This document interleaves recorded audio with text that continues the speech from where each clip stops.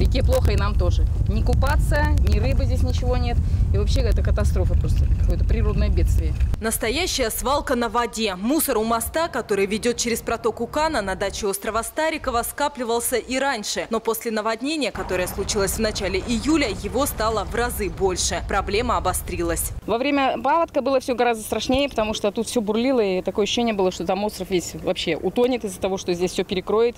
В результате ничего не сделано, и вот это все стоит, и все это сгниет, и неизвестно, когда и кто. Вот скотина дохлая была. МЧСники ее вытащили с теленком.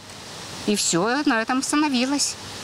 Дачники только когда нужно лес, они подпиливают себе, еще частично уничтожают это все. Где лесенки мужчины делали себе. Ну это же вот где-то было в устье Кана, и все это снесло, когда вода поднялась. Откуда на самом деле вода несет весь этот хлам, не ясно. Но теперь эта некогда заповедная зона действительно напоминает болото, которое простирается на десятки метров. И чего здесь только нет. Огромные бревна, ветки, пластиковые бутылки, другой бытовой мусор и даже тюк сена принесло водой. Сейчас все это медленно покрывается тиной.